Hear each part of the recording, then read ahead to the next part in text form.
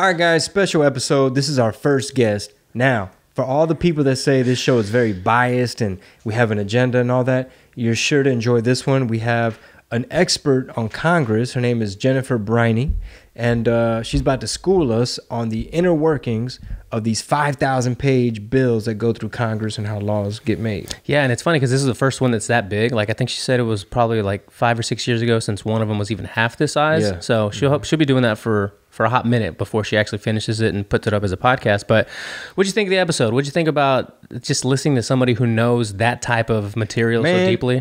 I think it's super cool that somebody decided to nerd out just on this branch of government, like all Congress, and which is, you know, an institution that has very low approval rating, and they have a lot of power and control over our daily lives. Whether like wars get funded, do people get stimulus checks? Where's my stimmy? Where's a stimmy? But um, I think it's fascinating. I I actually would love to see more like short clips from her of her like dropping knowledge about the subject, and I think it'd be cool if we like find a way to all hang out.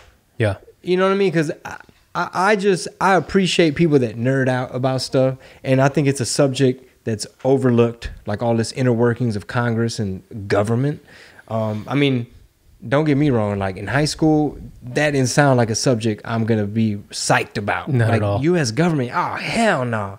But uh, I had fun. Uh, she's not a Trumper at all. She voted for Biden. Uh, she backs up her reasons. Um, and just like everybody else, man, we're just trying to pick the lesser of two evils. Yeah, and then she voted independent, which you'll hear about in 2016. And uh, we were we did it via Zoom, so the lag might be there. This one's going up on YouTube. It's not the Patreon exclusive, so if you, you watch it, that's that's why we're still dealing with the Wi-Fi. Our patrons are helping us get hardwired. Damn it. hardwired internet back here.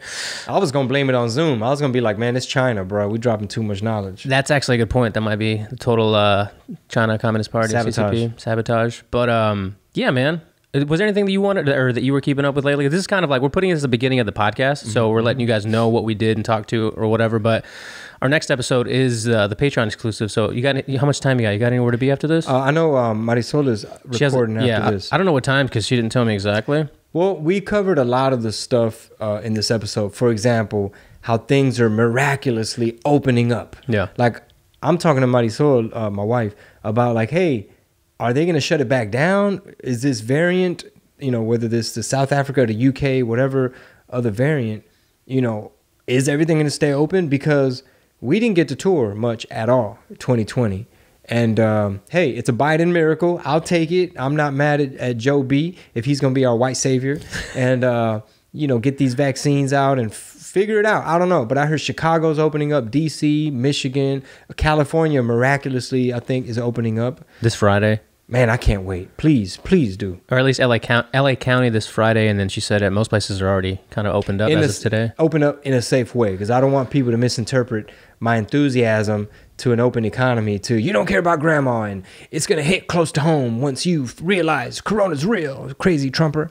That's Uh, not what I'm saying. There's that that super super right wing uh, journalist, real pretty white chick, Tomi Lahren or Tommy Mm-hmm, Lauren, where she always wears that gear where it's like if you're scared, stay home, and that's kind of been my philosophy the entire time, right? Like if you are scared, you should stay home, and we should encourage people that are you know immunocompromised or just frightened of what could be to stay home and let everyone else kind of go about their life. Well, it was weird because it was election time. So in the middle of all the mudslinging and the uh, the media and the, the propaganda and trying to blame everything on Trump, it was just kind of hard. Cause I ain't gonna lie, we were scared as shit. Like in the beginning, it was like, oh man, ain't no, you know, what's going on? We got to get water, Purell, you know, Purell. They ran out of Lysol. I don't know what's going on. We were all that way for sure, because nobody knew what was going on right when it first kicked off. Man, you know how they promoting wearing three masks, five masks now? That was me in the beginning. Like I'd had to go to the grocery store with the rubber gloves and everything and Yeah, I had some stuff. Uh, I was storing some stuff for Chingo props or something uh, months and months ago when this first started last year, and Chingo came to pick them up from my place, and Mm-hmm. We you were know, ma- mask on and elbow, and again, like kept the distance. You know, I was like, all right. At the already at the time, I was also like, we should be careful, but also I didn't expect that the Mala King to show up so prepared to socially distance and yeah i think he was spraying as he was driving off so that the air behind him also had hand sanitizer i was like all right man see you later it's an animated GIF right here. you do Yeah. do that a lot like it's fucking cold back here Oh yeah, you know, little cumbia sounds. People need to follow your TikTok if they're not following it, man. Please do. Got some And, uh, hilarious shit up there. And we have some tour dates coming up. Freedom of Speech tour. We hit Naples, Florida, off the Hook Comedy Club, February 10th. Shout out to Governor DeSantis. And then February 11th, we head over to West Palm Beach Improv. Shout out to Mar-a-Lago. We're gonna be out there. Favor, believe it. yeah, we're gonna be out there at the new uh, office of the former president Donald Trump. Trump a fool with it. That shit's not even real. Life's not even real at that point. Uh, so on that note, um, this is our free episode. It's going to be up on YouTube. We have some special stuff coming up for Patreon exclusives, uh, more Patreon content. So if you want to hop on there, it's patreon.com forward slash red pill tamales. hmm And we're still waiting on our stimmy. So Biden, I know you're busy with all your stuff, and I heard they're gonna give los papeles to um, Omar Raza, uh, like 11 million supposedly. Um, I heard they're gonna put Harriet Tubman on the $20 bill, but they ain't got time to work on the stimmy. Um, people voted against, well, I guess you know, I guess uh, the black community overall voted against the platinum plan, which was half a trillion dollars. But don't worry, because Biden is putting Harriet Tubman uh, uh, on the 20. He's taking, who is that, Andrew Jackson? Yeah, I did see that. Taking Andrew Jackson off. So our money is going to look a little different. Uh, so I don't know. I don't know if we're going into Bitcoin. It's going to look a little different, and you're also going to get less of it in your, if in you're in some specific communities. Isn't that weird? less of it. What? If you, I'm saying, like, if you didn't, if you would have gotten the platinum plan, you got Oh. all the money. Yeah, I mean, hey man, Lil Wayne and Ice Cube tried to tell y'all, but uh, you know it's all good. Um, also, there's a new travel ban coming from uh, I guess South Africa. However, the media is not covering it as a xenophobic, racist African ban. So, also, you're allowed to call the. Um, check it out. Listen to this tweet. Wait a minute. After months of being told it was racist to refer to COVID as a Chinese virus, the the Washington what is that? The WP Washington Post refers to its new strain as British and South African variants. So you can use the name of the nation where it comes from, as long as that nation ain't China. Got it. Noted. You are on notice. On notice. Yeah, people in New Mexico mad at Biden right now because breaking news New Mexico leaders say Biden's domestic energy bans will devastate the state's economy, where jobs, education, and public programs depend on funding from that industry. So uh, Biden won New Mexico 54 to 43. Ain't that a bitch? and we're gonna have more of these interesting voices. And we talked about this, like season three. You know, our third dozen is gonna have a lot of, a lot more guests, a lot more interesting points of view on the show. This is we kind of started early with Jen, but uh, we got some other ones lined up, and people are gonna, you know, gonna have to swallow the pill. Either you by by your own choice, or we're just gonna have to shove it down your throat because these people are gonna be talking about the subjects that you think, or some people think that we just kind of throw out there all Yeah, willy and, nilly. and it's cool if you voted for Biden. It's cool if you're Democrat. It's Yeah. cool if you like Bernie, AOC. As long as you're cool, wouldn't you agree? If you voted for them, that's cool. As long as you as a person is cool. Because if you're not cool, then it's not cool. Yeah, well, you know, you know what I'm about, man. Like, if you voted for Biden and all that, that's cool. It's just, you know, just don't be naive when you see everything opening up all of a sudden. To me, it lets me know that a lot of this was done for political reasons. Things were shut down to make Trump look bad, and now things are miraculously opening up. However, people in my comment section want to look at me like I'm dumb. And I'm the crazy one because they're like, "Ah, Chingo, factor in the vaccines, bro. You know, Biden's fixing everything. Is it really? Or is it just that the media is in cahoots and you're not really getting real news anymore? It's just this product that's for clicks and, and dollars, advertising dollars. But hey, hey, man, without further ado, you want to go ahead and get into the episode? Yeah, let's get it. Let's do it. Yeah, so all the way from LA, she's based out of LA right now. Did you know her when she was out in Houston? Uh, she was in Dallas, I believe. She was in another state, but she went to Oakland for a hot minute and then uh, L.A. Okay. Well, without further ado, the host of Congressional Dish, ladies and gentlemen, Jennifer Briney. Sass. Today we have the host of Congressional Dish podcast, Jennifer Briney. Rob, tell us a little bit more about Jen. Yeah, so Jen, we met probably over ten years ago on Twitter. Where the Rogan verse was kind of taken off first, and we had this whole Death Squad movement that was really being pushed by Joe Rogan and the JRE. And then somewhere in the mix, I met Jen on Twitter, and we started podcasting on my original show. And then we ended up just meeting other people through Twitter and talking about Congress and government and politics when we, or I rather, had no business talking about that stuff, but I was so interested in it. And Jen had this really good way of explaining it and breaking things down. I mean, we talked to some people who like one was a congressional candidate who I don't even think exists online anymore, and I'd rather not even say his name because he went through some crazy rabbit holes uh, about ten years ago, and I'm sure Jen knows who I'm talking about. I do. I was Yeah. just thinking about him. yeah, it's weird. But uh, we had some really good conversations, and now we, we started doing this, you and I, and I was like, man, this might be one of the best guests to have on because I talked to you yesterday, and you have no affiliation with any political party. And you just kind of talk shit about everybody, but you also break things down that are happening in Congress. I do. Well, and I started this as just a taxpayer, so it wasn't like I was. I wasn't even looking for a career at the time. I was just losing my mind because I was watching C-SPAN and I knew that they were sneaking things into law, and so I just wanted someone to talk to about it, and I figured out how to start a podcast, and that's really how it started. My whole shtick back in the bad old days was I was going to read every bill that passed the House of Representatives. And I did that for two years until I realized, like, that's how I realized that that's impossible. So um, now I'm picking and choosing what I focus on, but I learned by doing that. Um, I have no affiliations with anyone in Congress. I've actually never stepped foot in the Capitol building, which is funny. The closest I've obviously like been outside like a tourist, but um, the closest I've been to being an insider in DC is I went on C-SPAN once last summer. Um, other than that, I'm just like everybody else. I just want to know what the hell they're doing with my money because, like, we all know that we pay taxes, but then we don't know what they do with the cash. And I personally feel like I pay way too much money to not know where it's being invested. So that's that's why I do what I do. I'm just I'm just like everybody else, but nerdier. Well, hopefully we can red pill a bunch of people and get them to subscribe to Congressional Dish and listen to you pick apart you know the, the the legislation stuff that turns into law and stuff and find the dingleberries as you would say uh, i don't know if that's another word for pork or uh or, or what exact what what is what is a dingleberry that you would find in some of this congressional stuff Well, the official word for that, if you're like reading The Hill or something, is rider, as in like it's stuff that rides into law attached to bigger pieces of legislation. So, for example, every single year we have to fund our government. It's Congress's most basic job. And so that's something to, regardless of who's in charge of Congress or the presidency, that's a law that has to be signed. And so what people in Congress do is they take something that they want and they attach it to that law, and then it hitches its way along with government funding um, to being the law of the land. Like a good example right now is that the the new NAFTA treaty. There was no debate on that on the Senate floor. There was no debate on that on the House floor. It just attached itself to the most recent government funding, and now it's law. That's not how treaties are supposed to be signed, and it's not the first treaty I've seen done this way.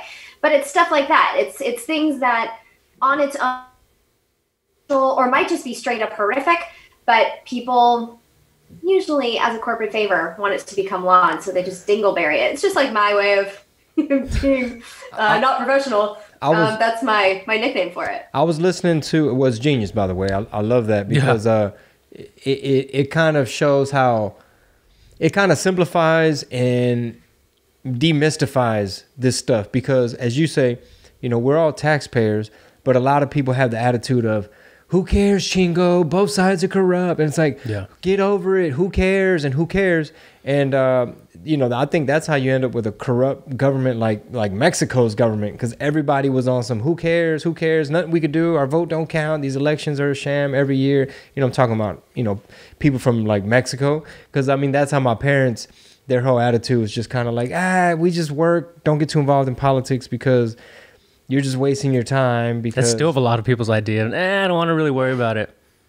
Yeah, and that makes me insane because I mean, I work so hard. We all do to make our money, and it's an investment that we make with those taxes, you know? And so these people in government politics is determining how much money goes in your paycheck. It determines are you going to get health care provided as part of that investment, or do you going to have to pay for that out of pocket on top of your tax investment?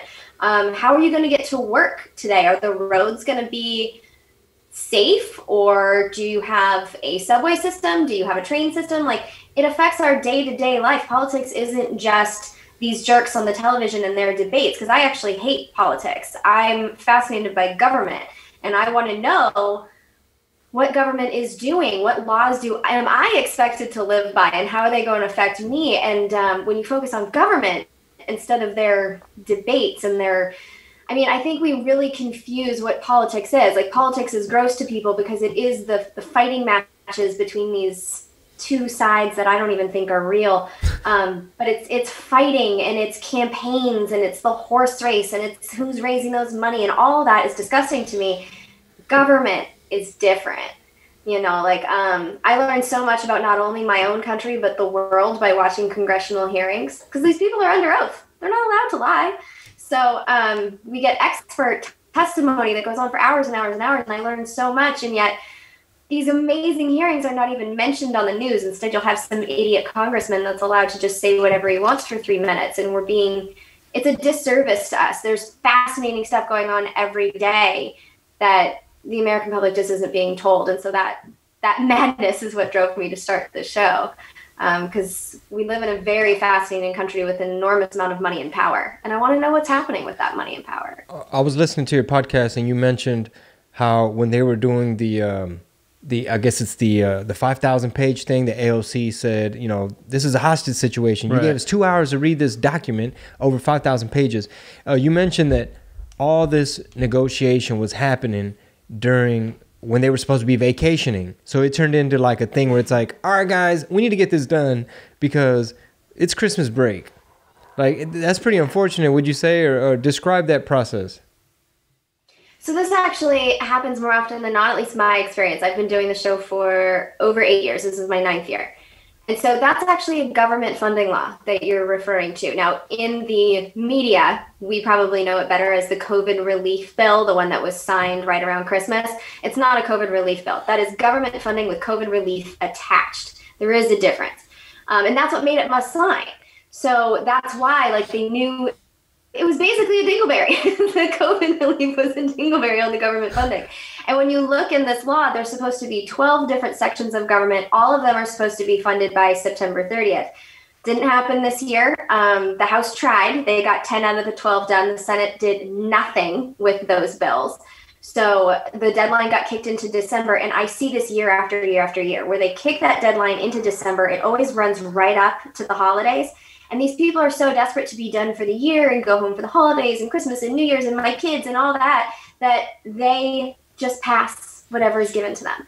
And this year was more egregious than most because we have not only all 12 sections of government funding in there, we have COVID relief, and then there were a whole bunch of other bills that were in there. So I'm, I'm just at the point now where I've looked at the entire table of contents, and I can tell you, like, the letters, they had to use double letters. So it's like, you know, the first part of government funding is Division A, and then it goes B, C, all the way down to, I think the last one is, I don't know. I know that COVID is M and N, and they have like double A, double B, double C. Like there's so many bills attached to the end of it. So, and it's that strategy that I just talked about.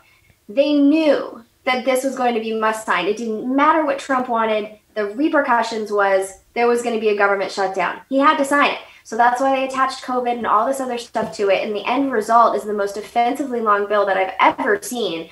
Um, it's 5,593 pages.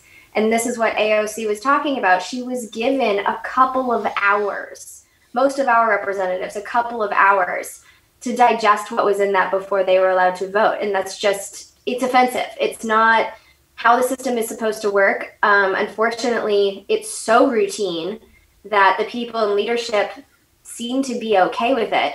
But you see someone like AOC, who in a lot of ways is like I was in the beginning, coming into Congress and being like, okay, this is how it's supposed to work, this is what the rules say, and then living through like, oh wait, this is how it's actually done, this is wrong. And so you see this bartender who won what two years ago yeah um, she's mm-hmm. relatively new and so she's just seeing these processes for the first time herself and going oh my god this is wrong and so the younger people are offended by it but right now nancy pelosi chuck schumer mitch mcconnell these same people that have been in congress my entire life they're still in charge and they're doing this every year this year's just worse than usual. I just- I saw yesterday- Like, for example, Go ahead. Oh, let me just tell you the different, like, because that sounds like a lot of pages. I was offended in 2018 when they did this with a bill that was 2,232 pages. I thought that was bad. And this is more than twice that size. Do you remember what that bill was for? It was government funding. The ah. same exact thing. I was gonna say, I, I think yesterday Ted Cruz had tweeted that he had like presented something as far as term limits. Did you do you remember reading anything about that? I don't pay attention to most of anything Ted Cruz says. All right, Callie at heart over here. Oh, You're still hey, Ted Cruz been been in a intense Twitter battle, uh, some Twitter beef on them Twitter streets. It was Ted Cruz versus Seth Rogen, the Canadian comedian. no shit. Yes. I didn't see this. No, really? Uh, Jen, when it comes to political cheese man, you know, gossip, that's more my you know, I don't read the bills. I don't I don't go through A, B, C, D. I'm into the Twitter beefs. So um, I highly recommend we can make a drinking game out of it. Uh, we could break it down like a school, uh, what is it, school house rock? What Yeah. Like, you know, all right, these are the elements of a Twitter beef, you know. in my opinion, in my opinion, Seth Rogen, last time I checked, you're Canadian fool. Yeah. You're Canadian. Number one, this is America. Uh, number two, I don't know what kind of mid-grade Reggie weed Seth Rogen been on, but he's obviously not high enough to really peep everything. uh, You know, the nuance. He's not up on game. And then Beto O'Rourke hopped in it. See, this is where it gets good, Jim. Oh, I'm gonna give you the play-by-play. Beto O'Rourke Can you just tell me really quick, what are they talking about? yeah. so basically, Seth Rogen is accusing Ted Cruz of being like a traitor, treasonous, insurrectionist, insightful, you know, evil Benedict Arnold type of person. He just came at him like this on Twitter. Um, somehow, some way, Okay, okay. it was very like it was very judgy for somebody that smokes marijuana. It was very judgy on, Hmm. on behalf for the guy that made Pineapple Express. Makes me sad a little bit. Yeah, I was like, bro, you a comedian. You you going back and forth with Ted Cruz, and then Beto O'Rourke hopped in them Twitter streets. He went in there, got his phone out, and he was like, Ted just needs to like stop. You know, he's losing very badly. Um, you know, this is Seth Rogen we're talking about here, and I'm like, Beto, it's. It, you, you know, it's, it's like we're on. It's like we're at the lunch table and, and somebody's getting roasted. They're battling, and here comes Beto trying to hop into. You know what I mean? That goes back to what Tulsi Gabbard was saying on Rogan about how she and I've always thought this in my head, and maybe you probably know this more that or imagine that Congress felt like high school. Oh yeah. Yeah. Isn't that fucking sad? Yeah, it's awful. It's it's the most frustrating thing in the world to watch, and I think that's one of the ways I've failed in my show is I really haven't shown that that much. I try to focus on the issues, and so when something like the Capitol storm happens, and there's 138 Republicans that support, you know, basically throwing out the votes of millions of people, when that happens, I think it just kind of surprises my audience and Americans because I don't think they realize how extreme and how childish some of the people representing us really are. It's it's terrifying. And so to hear Tulsi, like it, it makes me sad too because Tulsi Gabbard and Justin Amash are two of my favorite members of Congress, and they're both gone. They both started around the same time I started this show in 2012, and they just feel like it's so out of control up there, and their their colleagues are so devoted to party and tribalism that they don't feel like they can make that big of a difference in Congress. They feel like they can big, make a bigger difference outside of Congress. And I've never heard anything so depressing in my life. You know, that these good people are leaving Oh, I love Tulsi. Congress Yeah. is so bad. Man, yeah, I love her too. they're lucky Tulsi wasn't uh, the actual nominee. Well, yeah, there's no way they could have let her. What, what's your opinion on that? What? Because I want to go back to what's happening, like right now with with everything. But personally, I got to ask you because it's been so long, and I'm sure we, we've. I don't think we've talked about it. Like, what exactly was going through the the left's or the DNC's mind when she basically demolished Kamala Harris on stage? In your opinion?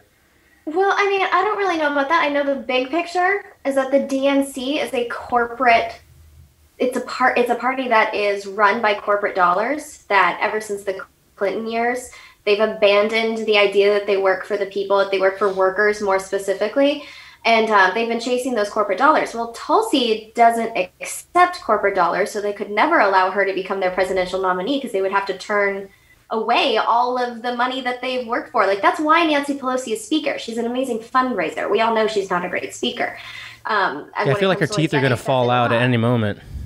I know, right? There's also that. Like, what's going on with those dentures? Um, but yeah, she's not an effective legislator. She's not getting things that we want into law, but she's amazing at fundraising. So she's in leadership. Tulsi isn't. And I think it really comes down to that. There's also the wars. Um, the defense industrial complex is just so powerful. You can see it even this year. When you look at the actual funding levels of what happened with COVID and all that, COVID was the least amount of money put into that giant bill. Then it was domestic spending, and war is still our number one chunk of money that that we're spending. And so if you look if you follow the money, Tulsi was going to be very difficult as the presidential nominee for the war industry and all of the corporations that are funding the leadership of the Democratic Party's campaigns. Now, the Democratic Party is they're a little different. Like all of the Republicans are down with the whole corporate thing. I mean, they don't even hide it. That they are there there to represent businesses, to deregulate, which basically means tearing up the rules on behalf of corporations. Like they don't even hide it. There are factions of the Democratic Party that are truly trying to work for the workers. They are vastly outnumbered. And so when I say this, I know it's unfair to paint the entire party like this, but when it comes to the leadership, they don't like t- people like Tulsi. They don't like people like AOC. They sure as hell don't like Bernie because they work for the corporations. And so when we look at like the divide in this country, it's not red versus blue. It really isn't.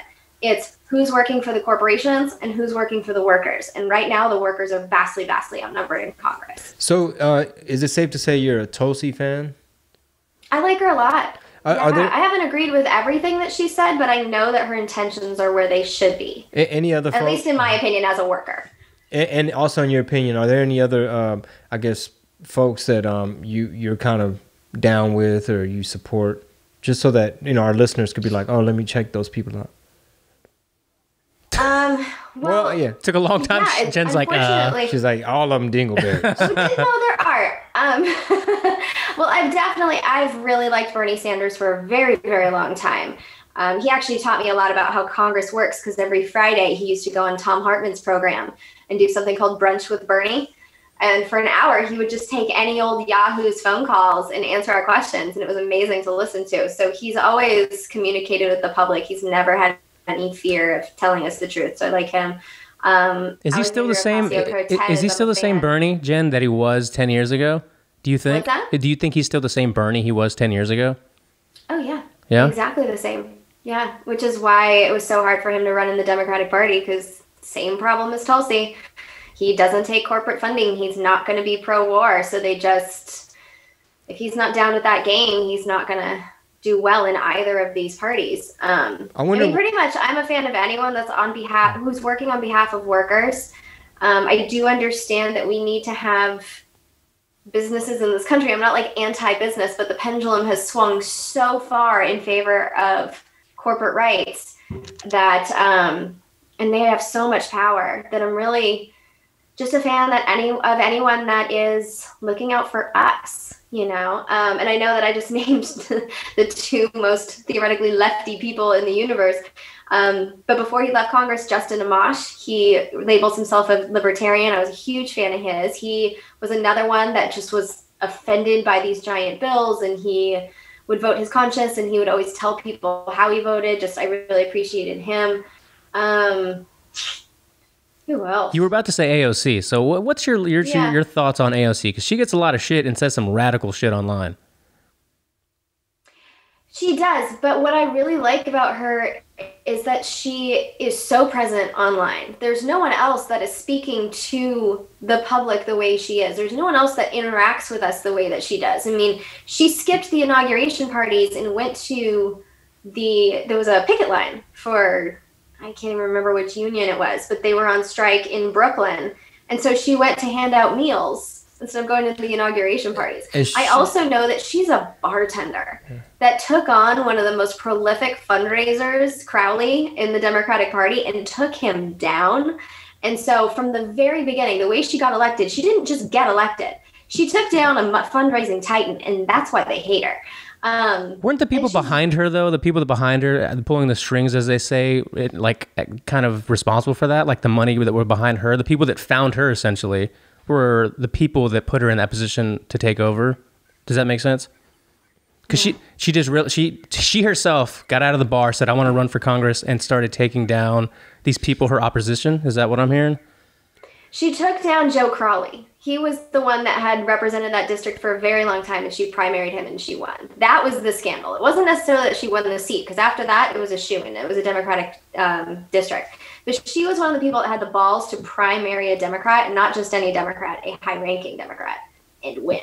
And so, um, leadership of the Democratic Party being very, very corporate and very into raising money, they don't like this girl because she's not taking corporate money. She's actively speaking out. She's so effective in hearings. She's so good. Well, she- like if she- she's sitting there against a CEO, she's going to rip them to pieces and in a very polite, um, respectful way. She just lines up facts and asks good questions. And like, she is exactly what I want to see in a representative.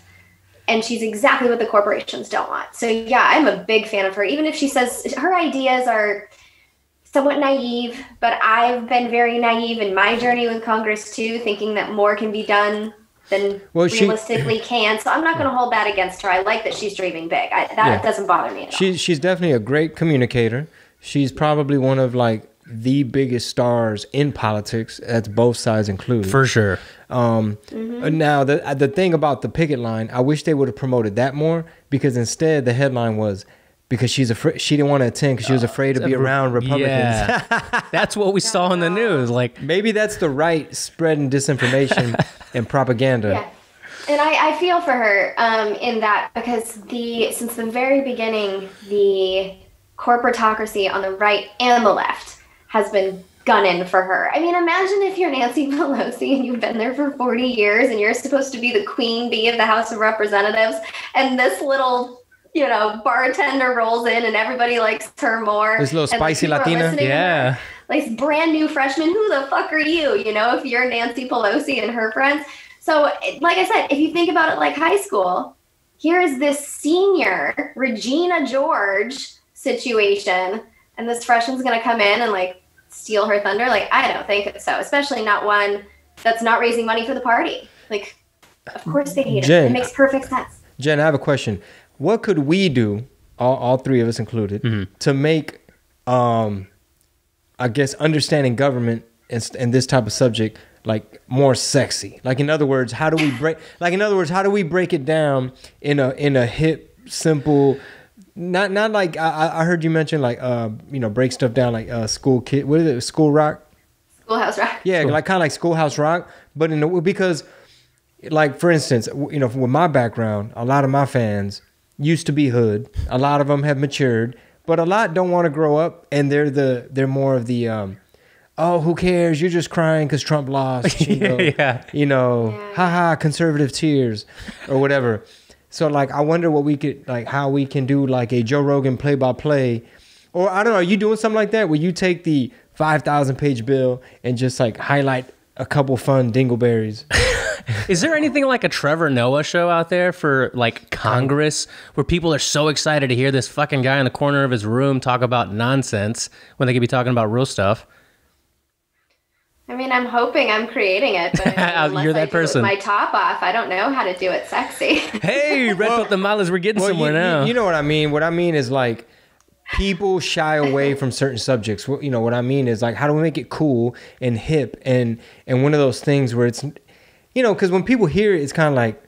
What you guys are talking about Yeah. politics and government and Congress? Like, who does that? I think it's so interesting, right? like we're just trying to make as much uh, as much as we can, make it interesting and informative. And even though people don't agree with us, like I get it. Like two Mexican American Texas boys, basically trying to talk politics, Talking about propaganda and and my in like you know, persuasion. yeah, and mainstream media and, and the psychology of it all, and people just don't want to hear it. The people that don't want to hear it let you know, I don't want to hear it. Like mainstream media is is gospel. it's truth. It's facts. It's news.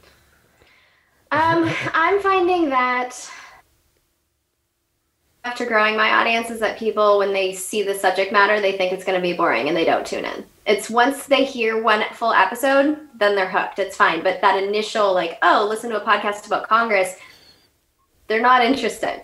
Um, which is why it's so important to me. Like, I don't do a lot of marketing, which I'm sure is not good, but um, I just think it's going to be much more effective for the teenager that's listening to badger that person's friend and just be like, no, it's not boring. I swear to God, listen to it. Like you get to hear the clips for yourself. Like I, I'm trying to make it entertaining because I'm so fascinated by it. And I think that's a part of making a good show too. It's like you have to be fascinated by your topic. You have to be into it in order to tell the stories well. Um, and I think Congress is an intimidating subject, or at least it was for me for sure because it is such a weird, wonky institution. There's a lot of characters. Like you have to memorize 535. Like I'm sure you heard it in my last episode, but it pisses me off to no end that Josh Hawley, senator of Missouri, and Ted Cruz, the senator from Texas, they were the two people that objected in the Senate to certifying the electors. Not a fan of what they did, but there were six people in the House. And one of them was Mo Brooks, who went to the rally and like Yosemite Sam,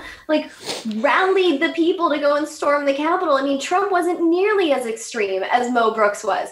And yet, Mo Brooks, most people still don't know his name. So I get that it's a lot of characters. I get that it takes a minute, but if um, the mainstream media bothered to do it, there's endless stories there. And that's the biggest problem that I have with my show. There are more stories than I can possibly. Are you are you on TikTok?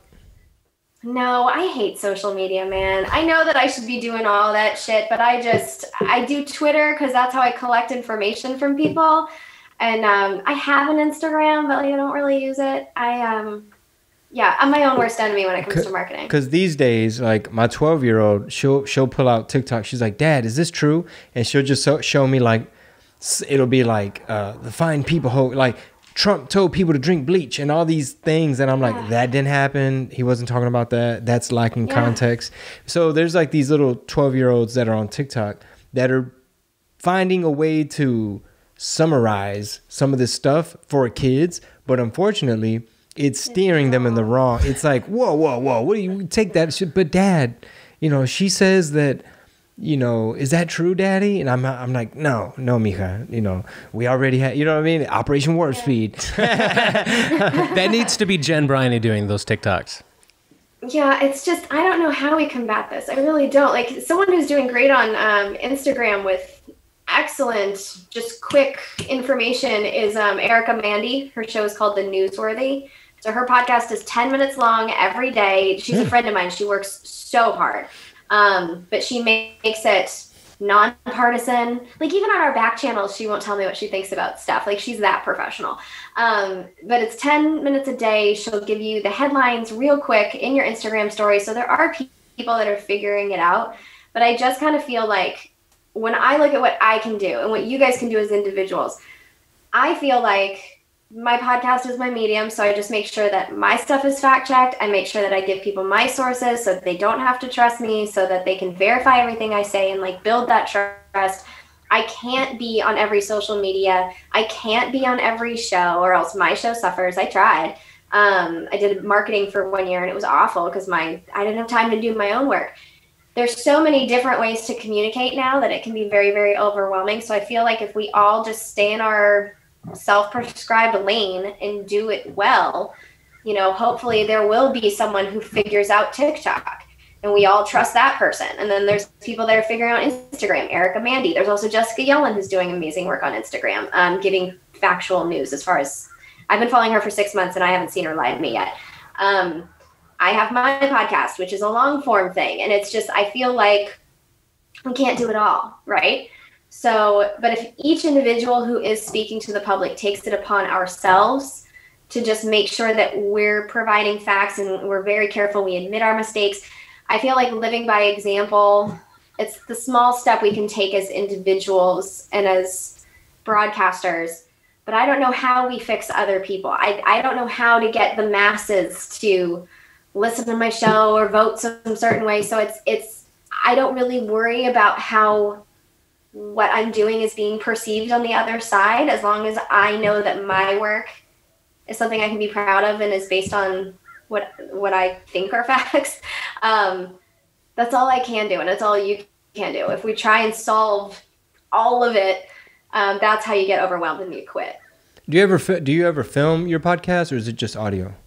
Right now, it's just audio because I I don't even know video is a whole separate beast, yeah. Mm-hmm. you know? And I do feel like the COVID experience has made it a little easier because no one's expecting it to be as polished as people were expecting even a year ago. If you were a video podcaster, now you really can go on TV with no makeup and your PJs, and like no one seems to give a damn.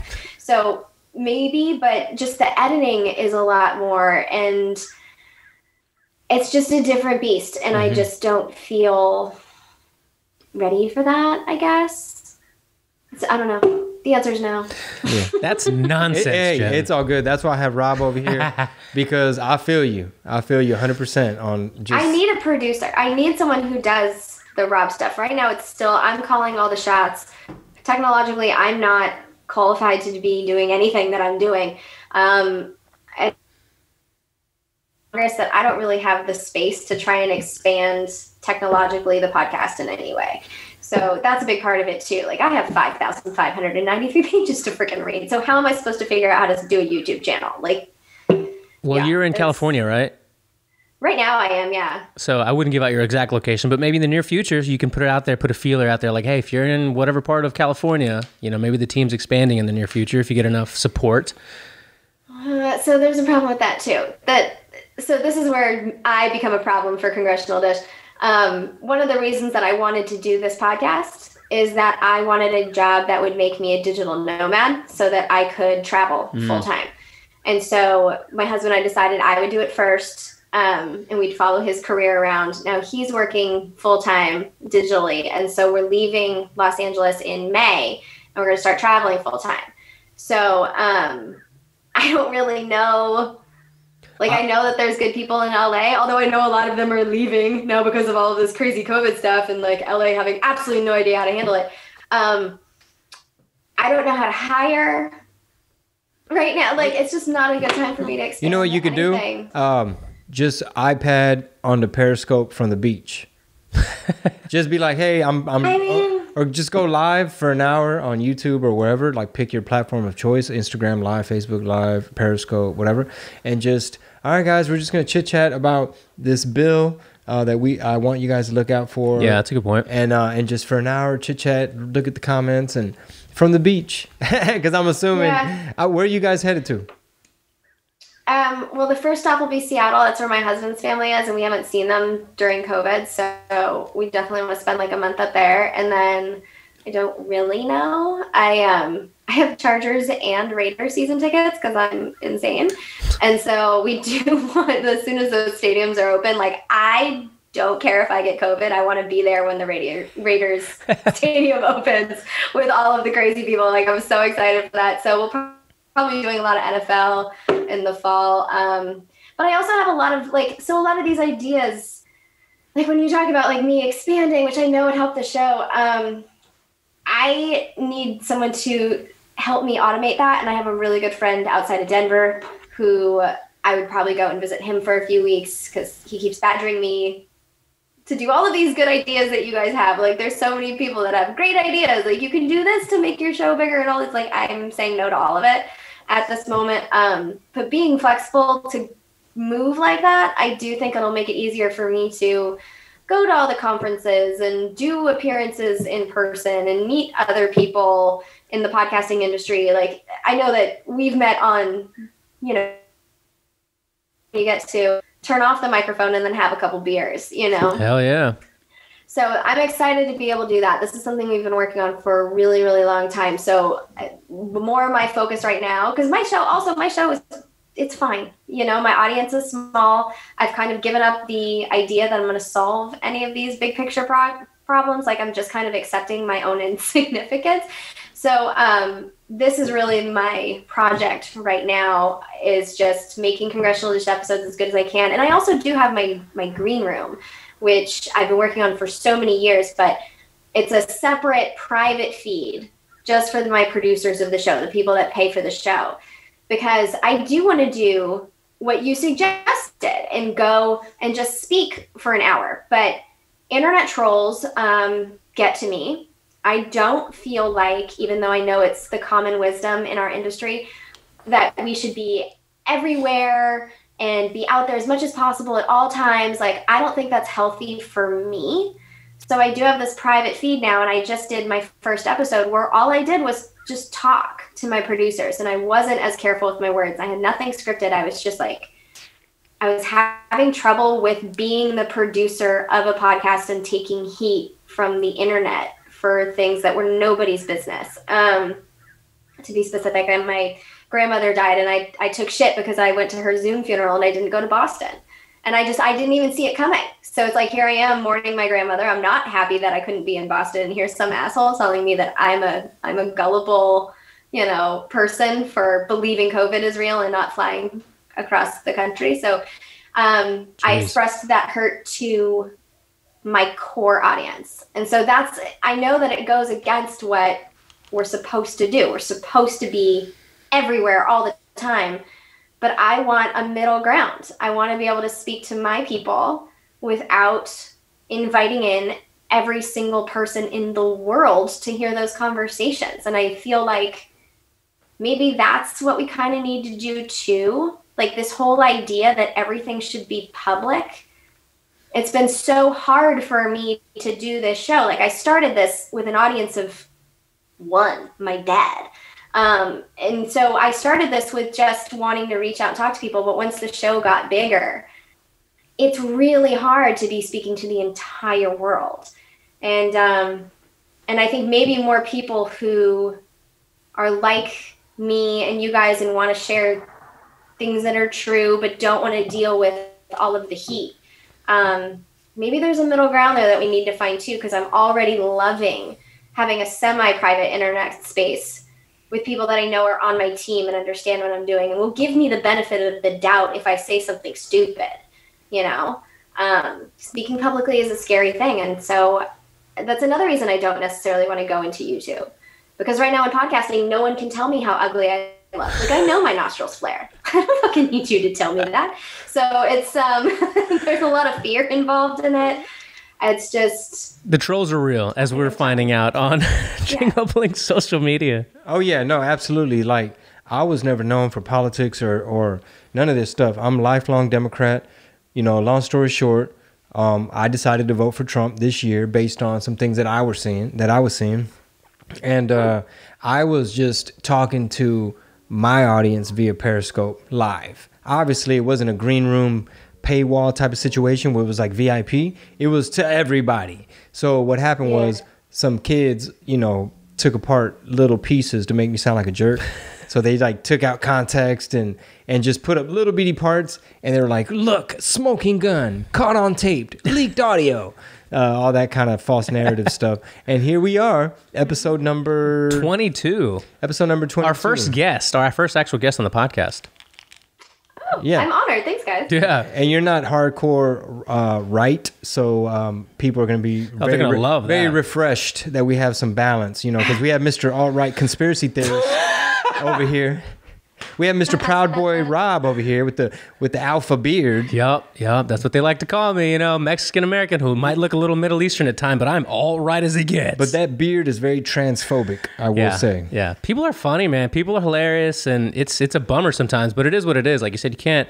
Well, earlier we were just talking about this. You can't change everybody's mind. You can't save everybody, even though you think you might be saving them for a, a better cause or whatever. But I do want to kind of segue into how do how do you? Okay, you don't have to answer this question, but did you vote right or left? Did, did you vote at all this year?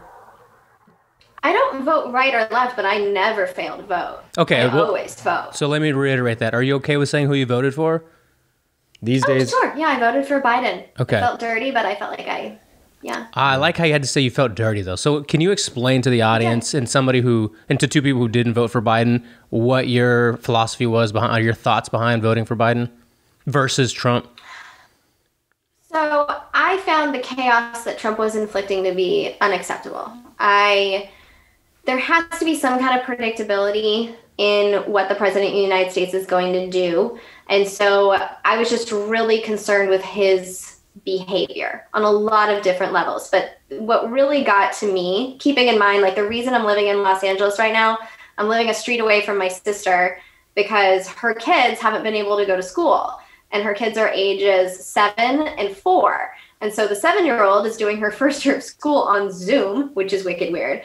And the four year old needs a ton of attention because she's four, you know? So it's like she can't go to preschool or do any of that stuff. And my sister was like spiraling. She was. And so my husband and I packed up all our stuff and we moved to Los Angeles. And so this whole COVID thing is affecting my life in a very real way. Like I can't do the traveling I want to do while my sister is in trouble.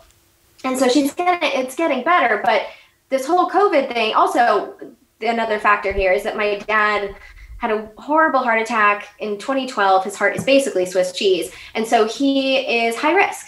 And we want him to be able to see his grandchildren. And so we just made this little pod. This is just my family. We've been pretty much locked down here the entire time, but like we're keeping our family safe so that he can still see the kids. And Joe and I are here to help in any way we can. So, with that in mind, I looked at this president of the United States not taking the COVID situation seriously and discouraging people from wearing masks and discouraging people from staying apart and hosting rallies indoors, you know, like the one that probably killed Herman Cain. Um, so here I am uprooting my life to deal with the situation, and the president of the United States, who is supposed to be in charge of creating and enforcing the laws and helping the situation, wasn't. And so that was really like the unacceptable line for me when it came like I can't vote for Trump. And the other alternative um, was Biden, who I know to be a warmonger. He voted for Patriot Act, Iraq War. Uh, when he was the vice president, he was the the point man on our government midwifing a coup in Ukraine. I'm still pissed about that. Um, but there's a couple things about Biden that I do like, which is that I know for a fact he cares about the environment. Um, I was very regulation of everything environmental during the Trump years because at at the very least, I feel like we need clean air and clean water, and I don't know anyone who doesn't want that, except for the fossil fuel industries. And so he was tearing up those regulations. Um, and I know that the environment will be cared for better in, under the Biden administration. And so, really, when it came to COVID and the environment, the choice became clear to me.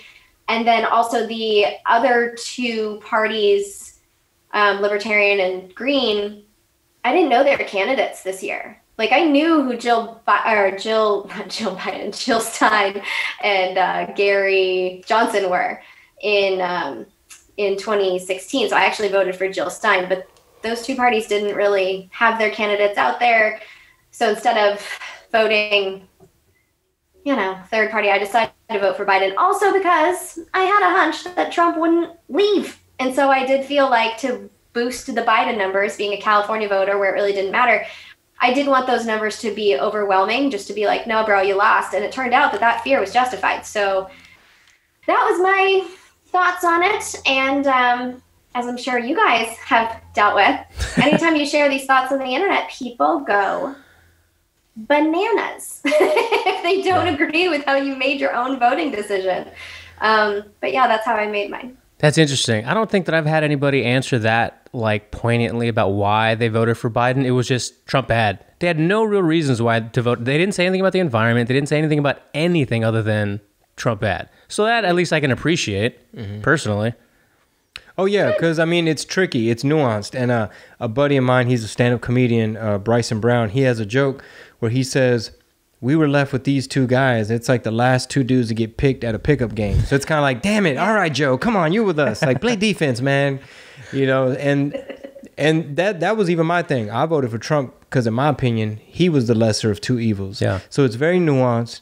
Um, everybody has their perspective. Um, my argument is most of us are low information voters. Yeah. You know, we're we're not all experts on government and and we it's especially these days with the amount of fake news and disinformation and just like propaganda and like QAnon and everyone and their mom has a conspiracy, Rob. Um, it makes it extremely difficult because it's kind of like, man, it's just so much information. And it's like, well, is he crime bill Joe or this is a 21st century Joe? And is Trump just a showman and a con man or is he actually a populist nationalist that's helping, trying to put America first? Is Joe America last? Wait, is this dude a Russian spy? Is this guy a Chinese spy? It's like, are they both spies? It's like, where's the P tape? What's going on here? Where's Hunter's thing? And it's like, so much mudslinging and that obviously is the difference between politics and government. Yeah, um, that's a good point. Did you did you make anything of that big October surprise, or had any thoughts on Hunter Biden and a lot of this China stuff and Ukraine stuff and Burisma stuff? Any of that play a role in any of it? Um, in my decision how to vote, no, No? not at all. Um, but I was fascinated by the way that the tech companies buried that story. Mm. Scary. That concerned the hell out. of me. That's the kind of stuff I'm really into. Yeah. Yeah, that bothered me a lot. When I read the actual story, I was like, I don't care. like I just don't. I thought Yeah, the pictures it's were like- funny. Other than that, like I don't. Because also, I've been really obsessed with the Ukraine thing since Joe Biden, um, midwife to coup. So I'm looking at it in that context. And now his son is getting contracts in Ukraine. Like that's been dirty to me the entire time. Um, so that wasn't really a factor for me just because I already knew it. And so when it became mainstream news, I was like, okay, like old news, like, oh, nepotism is a thing. Is that also why Ivanka's in the White House? So it was, it didn't, it was a non factor for me in that regard. But just the fact that the Democrats, you know, when Trump got impeached the first time, it was over Ukraine, which was fascinating to me. Like he threatened to take the weapons funding away from the government that we had installed, and that was a red line for the Democrats. Um, that was fascinating to me. That whole thing being about Ukraine. Ukraine just keeps coming up. It all started with a coup in 2014 that most Americans aren't even aware that we had a hand in. So, um, yeah, it's So speak. You, you've mentioned corporatocracy and also like a coup. Have you read um, Confessions of an Economic Hitman? oh yeah, That's a good one, ain't it? yeah, yeah, yeah. and it's all that stuff. Yeah, mm-hmm. For sure. Yeah. I Rob, you check that one out. No, you keep telling me. And this is something else we're going to do on the on the on uh, the RPT kind of Patreon is read some of these books and kind of discuss them just because they are so fascinating. And there's a lot of good reads like that. But again, along with keeping up what's going on day to day, that's why my goal for 2021. Like I got uh, Red Famine already. You know, to read Yeah. about Stalin, read some about this historical stuff that's interesting that we can bring to the podcast that I think will help people. Because how do you feel about like people needing to read a little bit more about the past to quite understand what's going on now and potentially in the future? Wouldn't you agree with that? I do, and it's it's actually kind of a recent revelation for myself. Nice. Um, We're on the same page. yeah, I I had been completely unaware and didn't care about anything until 2003, which is when I was studying abroad in Germany when we started the Iraq War. And that experience changed my life because I saw the reaction to that war from Europe's eyes and had no idea that it was going to be different from how it was viewed here. So there, they cared. Like the debate in the British Parliament was on the TV in the bars that night. You know, like everyone was talking about it when they would hear my accent. Oh, you're American. Let's talk about this. And I was embarrassed that I didn't know anything. So I figured the entire world reacted that way. I came home. That was not the case here. It was just kind of like, oh yeah, we went to war. So, you know, like it was it was shocking for me. So that changed my life from that point forward, I cared about what the Bush administration did. And I my timeline for history started in 2000. And it's only been recently that I've been starting to really turn back the clock, especially once I realized that like Iraq was not a one-off. Like I didn't realize that we had overturned other governments and I definitely didn't realize that it was dozens and dozens of them. And so once I started looking in that history, I'm like, oh, Iraq is a piece of a pattern. Like this isn't new. This is just a more brazen government overthrow. And so um, by looking backwards, I'm able to understand what I'm seeing in the present to the point that when the Trump administration started doing the weirdest coup I've ever seen by basically saying like the president of Venezuela is not the president, this other guy, Juan Guaido is. It was a very strange coup and it didn't work. Um, but when I saw that in real time, I knew what I was seeing. So by looking at the pattern that has been going on since at least since we overthrew Hawaii, so that was like 1890 something. But like since then, it's been over 100 years. You look at the pattern, and I can look at decisions being made right now in conversations happening in Congress right now and see it fit into a pattern and I wouldn't be able to do that if I didn't know the pattern existed. So yeah, it's it's key to read about our past. Where are we going next? Well, in terms of Where- Venezuela's still on the table. That Yeah? was kind of fascinating. So um, I haven't watched the hearing yet, but I've been told by my listeners that our new Secretary of State, who is Antony Blinken, he is he owns this company that basically like tells corporations how to make money around the world. Like he is super corporate. And in his confirmation hearing, he basically said that he's gonna keep working on this coup in Venezuela that the Trump administration started, and like keep going with this Juan Guaido nonsense. Um, so he's on board with that in the Council on Foreign Relations, which is an international body of the people that I think are really pulling the strings, like globally. They tweeted out today that you know, the Venezuelan people need us, just like all of the words that they say when it's like you've got a target on your back. So mm. Venezuela is still very much in play, even with the new administration. So I'm not taking my eyes off Venezuela. Do you, do you um, like Maduro? Oh, I don't. Here's the thing. All I know is that he is the president. Okay. like I don't. I don't know if he's been rigging his elections. I don't know. All I know is that he is the president, mm. and the legal justification for this Juan Guaido guy being so basically when they said he rigged the election they said juan guaido as the head of the national assembly because there was a vacancy in the presidency which first of all there wasn't. But they used that part of the law to say okay this presidency isn't legit so this guy is in charge. And the constitution said it was about six months if i remember correctly.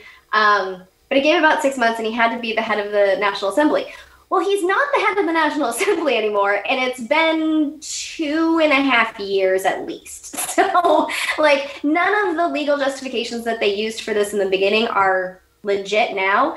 And the people of Venezuela are not are not living by any governmental laws that are being enacted by Juan Guaido. They're still living under Maduro. So whether we like him or not, whether we think his election was legit or not, he is the president of Venezuela. Juan Guaido is not. And so that's all I those are all the emotions I have about it. I all I know is what reality is. And we we're still pushing this alternative one that's just not the case. Any yeah, I don't I don't know a whole lot about it. I just know that the people out there are suffering. That's what I do know. I don't know what Guaido is is uh you know what his stances on anything. I just see what is it? Are they full out communists now in Venezuela? is that just no? Because no. so that's what they're saying. Um, that's what the Venezuelans the, are saying. right? Is it the people? No. Um, so one of the things that we have to keep in mind in Venezuela is that the W. Bush administration tried to overthrow Venezuela. They have a government that doesn't allow the corporations to come in and pillage. So they also have the largest reserves of fossil fuels in the world. So that's why the target is on Venezuela and always has been. So they tax the hell out of any oil that the multinationals come in and take out of their country. And they want those taxes lowered. And so Hugo Chavez was taking a lot of the oil revenue and making that the tax base. And so that's what was paying for their healthcare system. That's what was paying for a lot of the food programs. They were using the fossil fuel money. Maduro was basically handpicked by Hugo Chavez to be the successor and was doing largely the same things. So these multinational corporations, they want to come in there and they want the damn fossil fuels and they want to profit off of it and not share as much with the Venezuelans. That is what Maduro is not allowing to happen. So what we've been doing is we have declared economic war on Venezuela. We have a blockade. Like we've even taken their money. So they have money that we've put a hold on because our country, and it's not just us, we have partners in this. We have about 50 other countries that are in on this whole game. But because we control the international means of transferring money, they've taken Venezuela's money and they're just holding it. And so it's it, for me that feels like stealing. So they keep telling us that Venezuela is mismanaging their money, but they don't have access to their money. They don't have the access to the cash that they need to do the things that a government would do to help the people. So we have to look at the international economic war to understand the suffering of the Venezuelan people. Now, obviously, I'm not saying it's all their fault, um, but if our country was cut off from the rest of the world like that, it would be very, very difficult for us to make our ends meet too. So we just have to keep that in mind that this is a country that's been under economic attack for a very, very long time. And that's going to be hard to govern. Is it embargoes or how are they doing the economic hit? So that's a part of it. There's embargoes. Again, like I said, they're stealing their money. Um, there's sanctions. I mean, sanctions are economic warfare. So it's just a combination of a lot of things that is it's making it very hard. Speaking for, of uh, san- government spe- function. Speaking of sanctions and, and economic war and tariffs and all that, uh, what's your take on the trade war with China? Well, China's a fascinating one to me because so they were welcomed into the World Trade Organization, which like from what I've learned, kind of like the big picture of what our game is in the world, they're trying to create a global government. And I know that sounds very Alex Jones. I got we the documents. They're I know, doing it. right? The globalists. Yeah, the globalists are turning the frogs gay. Yeah, so I know how that phrase sounds, but we have the organizations, we know the names United Nations, World Trade Organization, International Monetary Fund, and World Bank. And they've been very open since the end of World War II that they want to have an economic system that is based out of those organizations that is global, with the idea being that if the entire world is economically integrated, then we would not be incentivized to fight each other. So it's their way of not having war anymore, even though to get it implemented, there have been so many wars. So I think the idea falls apart on its face. But essentially, the World Trade Organization is supposed to be the economic hub of the world. It's supposed to be all the rules that everyone follows. And China was allowed in there in 1993, with the idea being okay, China's in here now. They're going to open up their markets and they're going to allow the multinationals in. They're going to let the banks come and, you know, siphon interest out of their population. They're going to let the um, the mining companies come in there and take all their minerals and like basically open up their land the way our land has been poured out to the world for so long. So China gets into the WTO, but then this relatively new guy has been not following the rules. Instead, they have like a hybrid system. So it's not, it's definitely not communist because obviously we have companies that are in there. We've outsourced so much of our labor force to China because we've now allowed the multinationals to labor shop. That's what they want to do. They don't want to pay us 15 bucks an hour plus benefits. They want to pay 50 cents an hour, no benefits. Mm-hmm. And so that's what they've been allowed to do in China. And so the companies are doing that, but then China's not allowing them in to profit. And so they're they're doing this like hybrid model and Russia is partnering with them too. Like they're not following the WTO rules. They're doing something outside of it. So that's why they're enemy number one. But at the same time, there are economic partners because again, so many of so-called U.S. companies, they're not U.S. companies, they're multinationals. They have no loyalty to us whatsoever.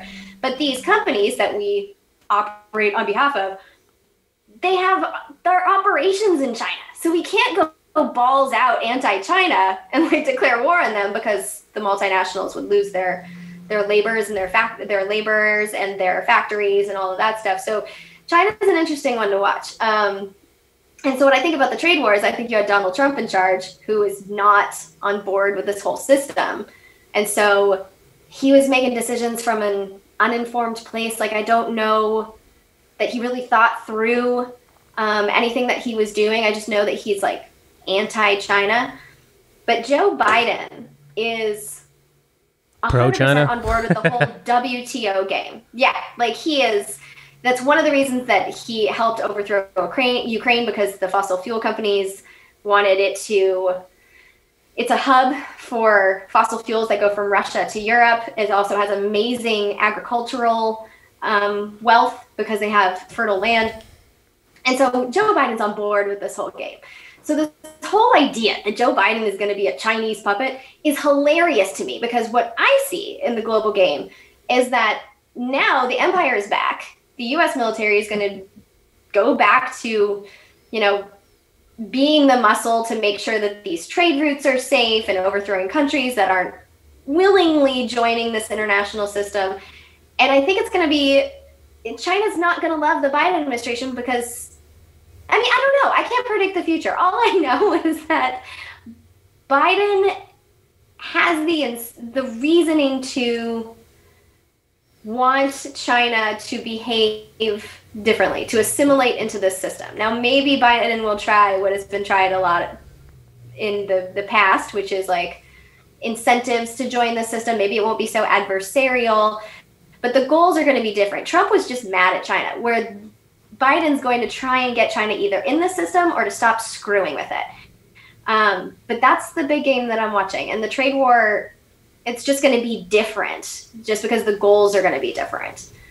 So, did that make any sense? Yeah, yeah, it I feel sense. like I did a bad job. it makes sense and and it makes sense and um, the way that we're moving troops into Syria I, my Mm-hmm. theory, I don't know too much about that, but what came to mind was okay, I know they're setting up a pipeline over there through Yep. Qatar, Syria, and Turkey, and maybe that's why the troops need to be there because it's like, hey, we're going to be constructing, and uh, we don't want no radicals over here, insurgents, Right. trying to do a little insurrection on the side of this road. So uh, we need some troops out there. So you know that's why it makes me uneasy, and that's why I like to like uh, troll my my fans. You know the Biden supporters while just like, oh look, we're sending troops to Syria. You know, like you said, the empire's back. We're back to back to the original program. Yeah, and it's funny that you bring up Syria because that Syria was the reason I couldn't vote for Hillary Clinton in 2016 because she was promising to overthrow Syria. And like just remember where we were at the end of 2016. We had planes and Russian planes that were flying over Syria as we were trying to get rid of Assad. And I have it was an episode I called Regime Change in 2014 where there were witness after witness in Congress in these hearings that no one was attending, where they were saying, like, we are trying to overthrow the government of Syria. They kept using the word regime change. It was very clear what they were trying to do. And so I was convinced that if Hillary became president, she had already said that they were going to do no fly zones over Syria. Well, if Russia is flying over Syria and we're doing a no fly zone, that means we have to shoot down Russian planes, which sounds a lot like World War III to me. Mm-hmm. So that's why I didn't want her in charge. And so the idea that we've now gone from Trump to Biden, who, in my opinion, is just Hillary with a dick, I'm super concerned that we now see, you know, Syria Oh, back uh, on hey. the table. You guys just got the green room treatment Because, Yeah, because for real. because Jen nor- normally would put a Yup, yup. I just thought about that, that would have been bleeped, but you know we got the exclusive right here. That's Red so pill tamales. funny. Dude, so did you wait, who'd you vote for in 16? Independent? Oh, that's right. That's right. You said that. Okay. I was about to say, wait, did you vote for Trump in 16? Okay, let's just say that you only had between those two parties. You could only vote for Hillary or Trump. What would you have done? Answer honestly. Wow, I hate that question. Yeah, I bet you do. It's tough questions here on RPT. Um, dun, dun, Well- dun. if we were really going back to 2016 and we didn't know then what we know now, I probably would have voted for Trump just because there was a chance that he would have been more peaceful and there was a chance that he would have been a different person. I mean, I watched The Apprentice too, so none of the narcissism, like none of that surprised me. I've kind of felt like I knew the guy better than most because I watched trashy TV. Um, but again, it was a TV show. Like maybe he's not that bad. Maybe he's smarter than we think. So I probably would have done that just because Hillary was damn near promising World War III to the world. And she was promising it to the like the Council on Foreign Relations. Like that was the speech that I kept playing in my show back then. She was promising the world leaders that and saying different things to us, which also really pissed me off. So um yeah, I probably would have voted Trump, but uh, mm, Mm, sleep with that one tonight. Come to that realization. Uh, You got any? I got some questions that Chingo sent me over from uh, the the podcast page. Do you have anything else before I get some of these questions, Chingo? Oh no, go ahead. All right, let me, uh, let me while- pull You this guys up. are gonna get me in so much trouble. By Yeah, way. you're gonna be in so. I, I'm so glad you don't use Instagram actually, because people are gonna come after you. I'm just kidding. No, I think I think a lot of folks are gonna feel like this was refreshing. It's not just Rob and I, you know, like, like, dude, what's up with Biden? You know, we're only how many days in? Like, we're, only, Six or we're only a week in, and he's already pissed off unions. He, I mean th- that is true though. He's people. He's hated by half the country. So there's plenty of stuff to talk about that we could have a conversation about, right? Like it's not false. We're not talking about complete, yeah. you know, alien people Yeah, or so I- lizard people. Yeah, I think people are gonna enjoy this episode because it's not just Rob and Chingo trying to. I like how you've been throwing me under the bus here. I have the conspiracies and I have the the fucking alt right thoughts here. Hey man, this is politics, bro. It's dirty. Some, it's like House of Cards. over here. Jeez, throw me under the bus like fucking Mr. Wonderful on Shark Tank. Um, all right, Jen. Is DC a corporation owned by London and other entities? London. That's random. Answer the tough questions, ma'am. I don't know. These are just questions for you. Damn, it's like um, conspiracy questions. Is it owned by corporations? Yes.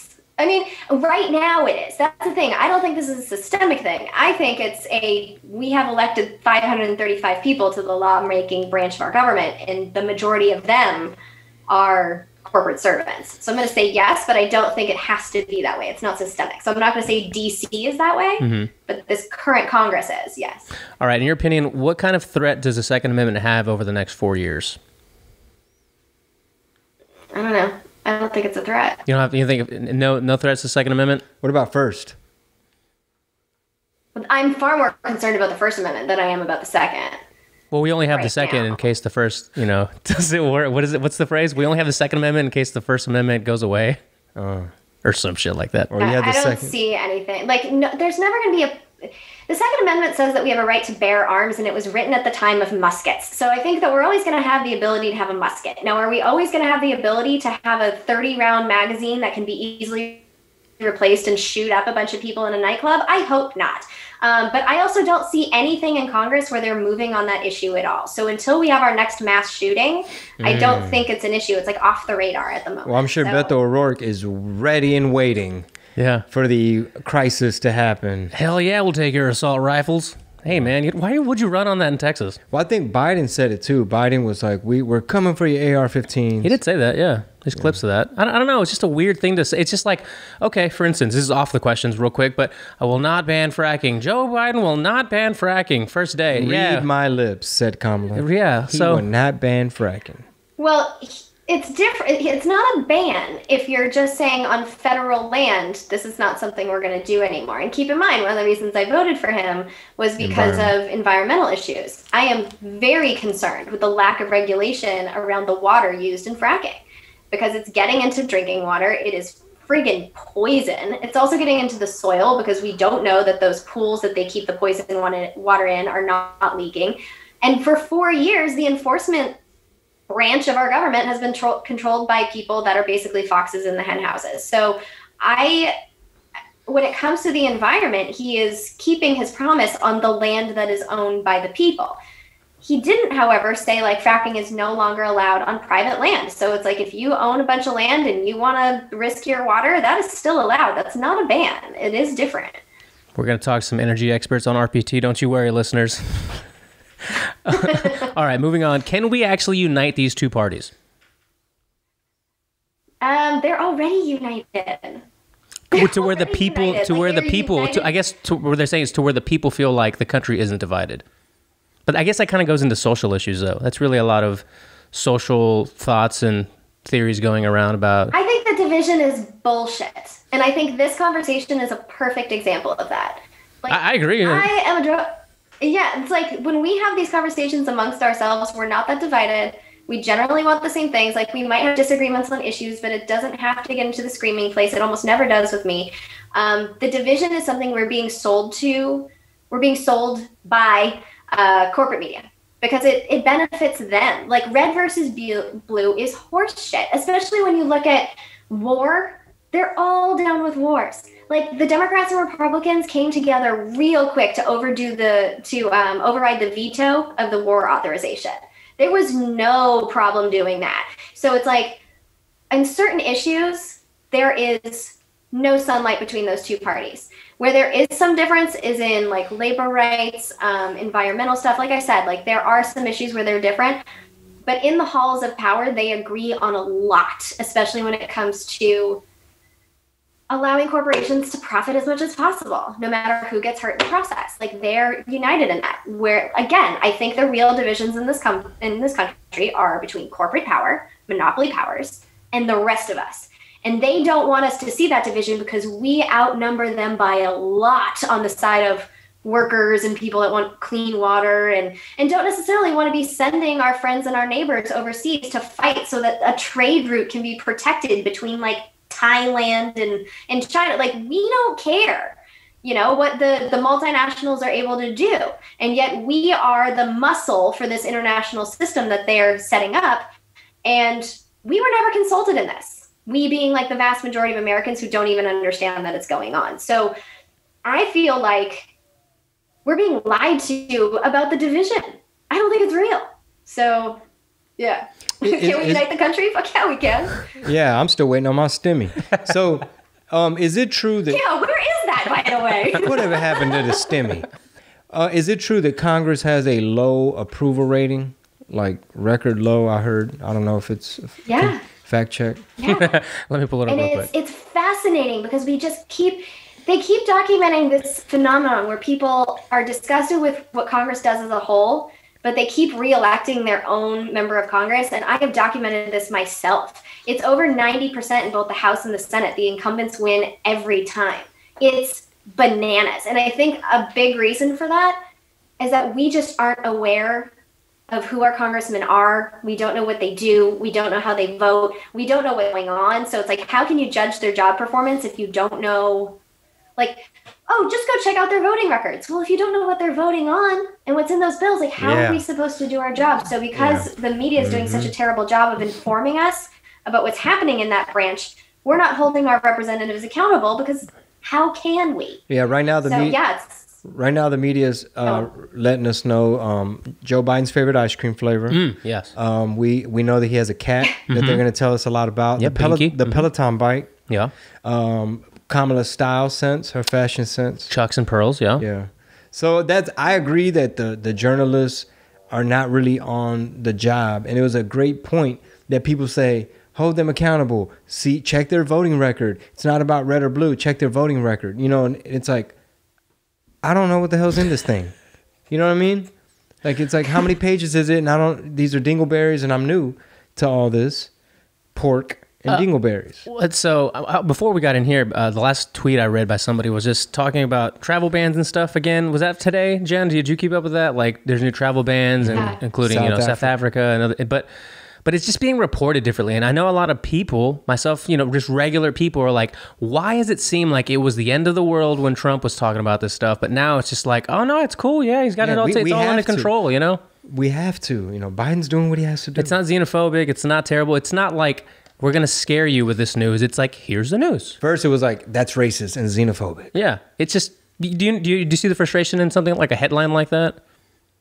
I see a frustration in all of the headlines about COVID right now because we don't know what's going on. We Yeah. don't know who to trust. We don't know what's real. We don't know. Preach. I feel like we just haven't been given the information that we need to decide for ourselves what, po- like, how do we determine if a policy is necessary if we don't really understand how contagious the virus is, if we don't really know how many of us have it? Um, I False do blame the Trump administration for a lot of this because where where I was getting hopeful back in the summer was we have the technology for these rapid tests. I mean, you guys are JRE f- fans. Like, you go into Stubbs to see their shows. Everyone in the audience gets tested. How is it that Joe and Chappelle are able to do this, but the schools can't? And so, and I am excited. Like, I'm reading the the COVID relief law that was just signed or dingleberried in the law and there is an enormous amount of money for that testing and contact tracing and i do feel like there's strategies that make sense regardless of how vi- how um, virulent the virus is like if you have a room full of people or a stadium full of people and you've tested every single one of them and the virus isn't in there then we don't need masks do we so it's like I feel like the policies are there that would make sense, but there's been no national leadership. And like you guys said, it's been a week. So I'm going to give the new guy a couple months to hopefully put in place the things that have worked in like South Korea, for instance, or, and I know it's a much smaller country, but like New Zealand. They've been living life completely normal now for like nine months. Yeah, they have So- like two farms and two sheep, though. We really can't compare them to America, And they're an island. Well, but here's the thing: like they um, they enforce their quarantines, so it's not necessarily that we have to shut down international travel, but we would have to enforce. Like if you come in here, you stay in your hotel room for 14 days. The Asian countries are doing that by like you basically have to wear a monitor, and they deliver you food to your room. It's funded by taxes. Um, they have there are solutions to these problems. Let me ask, And- go ahead, go ahead. you go first. Well, well, real quick, I want to highlight two things that you said. Um, number one, I want to take this opportunity to agree with you about rapid testing. That is something that uh, brace yourself, listeners of the RPT. I'm upset a lot of y'all. Trump and Pence and whoever they had on this COVID team kind of dropped the ball on the rapid testing stuff. Like that was that was a thing that a lot of smart people smarter than me, above my pay grade, were like, it's the rapid testing. Like, look into this cheap, affordable, quick, easy uh, type of thing. So Trump, I'm gonna take away a point. Uh, you're getting one less brownie point from me. And number two, before I forget, earlier you mentioned you were studying abroad in Germany and you got to experience how propaganda varies from, from the perspective of the citizens of different countries. So that's something to that's again that's one of the things that really grinds my gears is the persuasion that happens in, in mass media and what i try to preach to people is that we don't get the same propaganda news that other countries do so always keep that in mind you know a venezuelan taxi driver might tell me like nah bro it's because this is and that it's like well he, he's getting it from his pr- perspective Yeah. but anyway you were uh, I, well, that good points. Uh, we're gonna take that off the board over here. I'm going to erase Trump's point over here. Um, when you look at California and you look at states like Florida, and you see how open Florida is and how close California is, does that not make you think a little bit that, like, again, and we already all said it, that we don't know, like, the science, can't just say science and shut things down. You can't just do things without rhyme or reason. But Florida is more of a, because California is very central. Like you- you're doing with this, what people are calling, uh, what do we call him, gruesome Newsom versus DeSantis over there in Florida, and they have less deaths, less hospitalizations, less ICU visits. Does, isn't that some, like? What are your thoughts basically on that? I think per capita, that's not true. I was reading today that it is, but we will relook at it after this episode. Yeah, I'm not sure. Like I said, I don't know that that's true. But I can also tell you, as someone who's living in LA County, the idea that we've been shut down is a lie. We haven't been.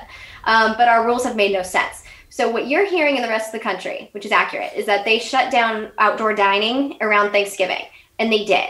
Um, but we have not been shut down. I can go into just about any store and have been this entire time and get in and go shopping. So it's they, they never shut down all of the indoor stuff. They allowed Christmas to happen. They allowed all the indoor stuff to continue. So those of us that are living here are like, wait, wait, wait. So you're telling us that sitting outside on an empty patio isn't allowed. But I can go into the Apple store with 50 other people because they also said, like, oh, well, you can go in there, but the capacity has to be a lot less. It's not what I witnessed. We had full parking lots. There was no one enforcing this. And so if you have no one enforcing how many people are inside these stores, the malls are full. So the idea that we were completely shut down, we had this whole draconian thing, it's a lie. And so when you look at our numbers that they spiked in the fall, like, yeah, because we really weren't shut down the entire time. Now our schools haven't been open, outdoor dining was closed. Like we we closed down more than Florida, but just want to put it out there that we're not as closed as we've I, been told. I know the comedy clubs yeah. What about comedy Comedy clubs, clubs, gyms, churches, salons? well salons? because i tour comedy and um, i think they're at 25% maybe No, they're not even open. Like the comedy Oh. store has a pretty it's not huge, but it's a big enough parking lot. And so they were saying like you can have someone performing back there for the parking lot, have everybody sit outside, the store's been wanting to do this forever, they won't allow it. There's also like the original room has a window that goes directly out into the bar, like the patio area. They won't allow anyone there either. So it's like the rules have made no sense. And then the cherry on top of it is that down here in Southern California, our ICU capacity is still at 0%. And yesterday, Gavin Newsom just lifted all of the restrictions. It's 'cause he like did- all of it- it's coming back now. it's because and there's he's- uh they have 1.5 million signatures on, on the recall Newsom. yeah yeah. and also and it's like if this is legit scientific like who cares about the recall? But what i'm asking now it's like okay if it was safe if it's safe now that we have 0% icu capacity why has our restaurant industry been decimated for the last two and a half months? Like i don't i don't understand. Why is it okay now? So there's actually people like me that were kind of okay like you know newsom's been doing his best not well. Um, i've given him the benefit of the doubt. Yesterday pissed me off because it means that everything that we've been doing was not based on science because this decision we're still at zero well, well So- people people in cali started demanding to see the science. Like what's the algorithm? What's the equation so that we can know what the goalposts are? In other words you know in case it's like well you know you got to just stop the spread and then we got to get this number to this point this number to that point. They just simply told the public it's too complex and we don't want just it's better that y'all don't see it.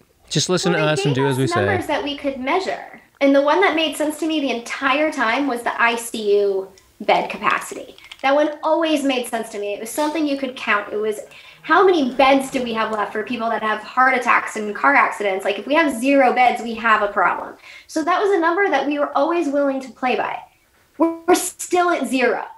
So like how are you lifting it now? Like that's it's just the idea that I, I think has become crystal clear for us now that they're making up the rules as they go and they're completely disconnected from anything scientific like that's what's infuriating Oh yeah, I bet I bet people are pissed. So what what's the vibe from I guess other Californians? Are they is it unanimous? Like they're pissed at Newsom?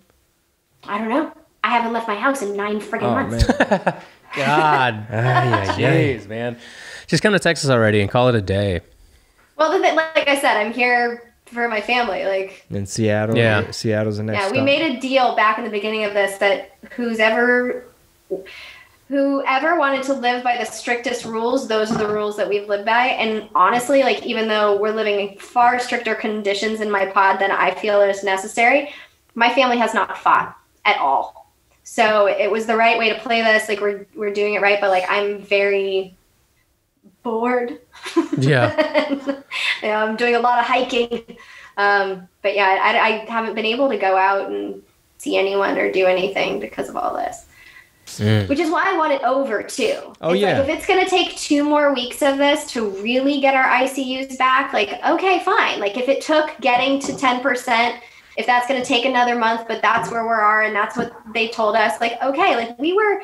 What's crazy about the announcement being made yesterday out of nowhere like that is that we were all just kind of chilling at this point. Like we were accepting what the reality was. We were waiting for the ICUs. It was starting to look good if you're paying attention to the numbers. I really wasn't all that upset about it. I was just waiting for us to get to that point. We were getting there. What I'm afraid of now, as someone who is living under these strict rules of my family, is is are is this reopening just going to put us back to where we were? Are we going to stay at zero I per, or zero percent ICU now? Is this going to go on even longer because of these decisions? It's like if you're making these decisions to stop the spread, stop the freaking spread. So is it I- is it back open? Is it wide open now, or what's the new No. rule? Ventura County, which is pretty close to me, they reopened everything immediately. So um, outdoor dining's open again, gyms are open like immediately. LA County is waiting until Friday, so that's what three days from now. Mm-hmm. Um, but yeah, they're they they left it up to the counties to decide what they're going to do, and all the counties are like, "Woohoo, time to reopen!" And it's not like it matters because this entire time, LA County has been has more strict rules than Orange County, and so if you really wanted to go outdoor dining or like if your kids wanted to go to school, you just go to Orange County. Like I have friends in Orange County whose kids have been in school the entire time. Like I don't understand it. Does the virus not spread in pri- private schools, but it does spread in public? Um, it's that type of stuff where yeah, yeah it gets real weird. Like you have to consider like. Okay, Democrat-run city, teachers unions. You know, Orange County, they're very like Republican, if I'm not mistaken, right? yeah, Yeah. they are. Uh, dude, we're taking an hour and a half of your time. I, I appreciate you coming on the podcast. Wow, that flew. That's because fun. that's how fun we are here. We, we, we got you to cuss as well. Yeah. Oh, that's not hard. Yeah. so, what's the goal for Congressional Dish here coming up in this first quarter of 2021? Well, I have a lot of legislation to read and find all the juicy stories. So I'm working on the 5,593 Corona bus, which is what we're smash all the government funding together. That's called an omnibus bill. And so it had Corona in it. So Corona bus, I love that name. Um, and then there's also the defense authorization. They authorized a year's worth of wars. It was about 4,000 pages. And I want to know what the hell they authorized because I'm actually more concerned about the Biden administration when it comes to war as I was than I was during the Trump administration, even though I read this thing every year. Um, so yeah, I have a lot on my plate. Um, but those episodes are always really good because they always sneak crazy stuff in the law. So at least we'll know what that is. And So- then Where can listeners get all that information and uh, follow you in the show?